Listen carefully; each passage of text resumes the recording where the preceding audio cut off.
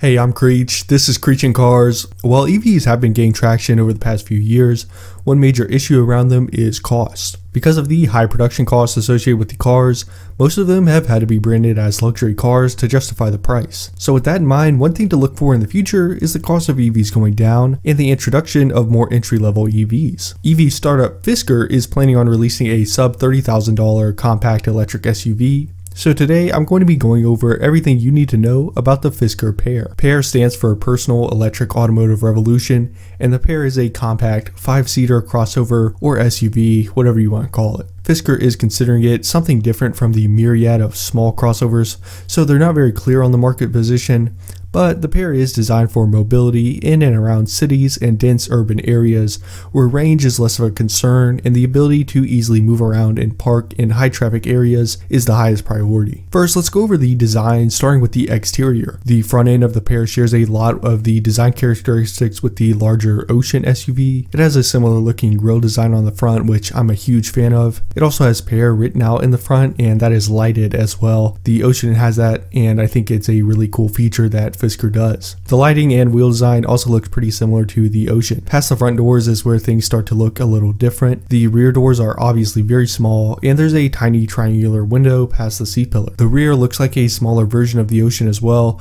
with an upright back end and a little roof spoiler, although the lights do appear to be a little bulkier than on the Ocean. The rear end design should increase the cargo area a little bit with the more squared off look. Maximizing cargo room and overall utility is a big deal with a car that's already so small, and it's clear that Fisker prioritized that. As far as the interior goes, Fisker hasn't really released official pictures to show us what the production model would look like, but we can take a look at the Ocean's interior to see the general direction that Fisker wants to go with its interior design. Fisker says that the visibility is very important to the design, so you can't expect good visibility all the way around the car. Fisker plans on implementing a wraparound front windshield for great visibility up front, and because of the lower price tag, the Pear may share a lot of the overall design with the Ocean, just with cheaper materials and cost cutting in certain areas. Fisker also says the Pear will offer clever storage, and we'll take a look at some of these storage features later in the video. Now let's go over some specs for the Pear.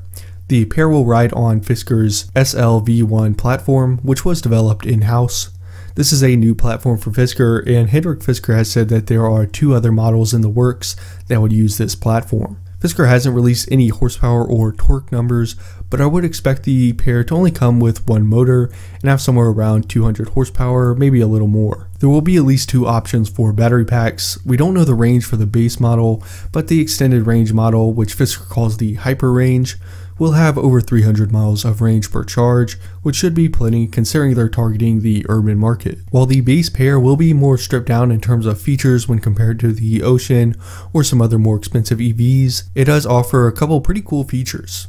Some I've already mentioned like the wraparound front windshield and the hyper range option, but Fisker also plans on implementing what it calls a Houdini trunk as opposed to the typical rear hatch. Fisker hasn't been clear on what exactly the Houdini trunk is, and they're definitely using the mystery to build some hype. However, I can kind of give you a guess as to what the operation of the trunk might look like.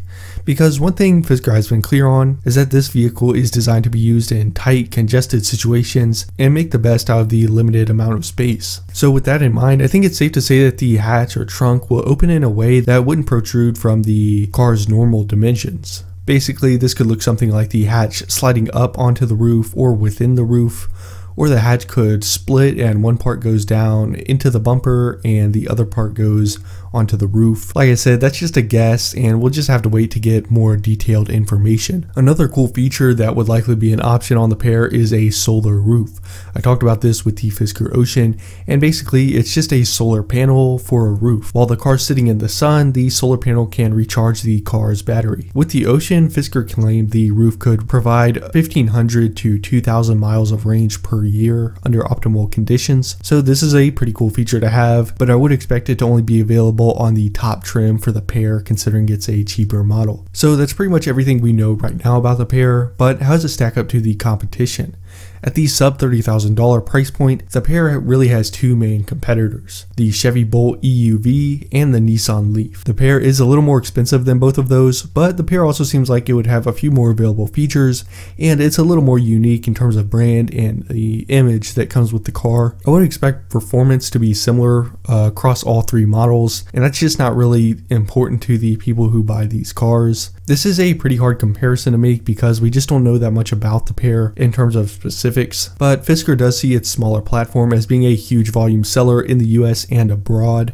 Fisker is projecting 1 million unit sales by 2027 across the world. You can reserve a Pear now for $250. The Pear will be built by Foxconn in Ohio, and production is expected to begin in the second half of 2023. I hope you enjoyed this video. This is part of a series on the channel called Startup Showcase, where I take a look at new startup car brands and their models.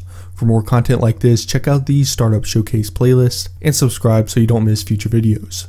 Thanks for watching, and I'll see you next time.